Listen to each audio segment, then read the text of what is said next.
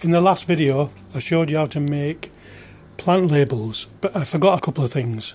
Number one is you can cut them into a point like that and then use one of these pens a permanent ink pen like that red, black, whatever colour you want, green and then when you put them in tubs like these they go in much easier with the point on. See? Simples. Anyway, good luck with recycling, reusing your bottles.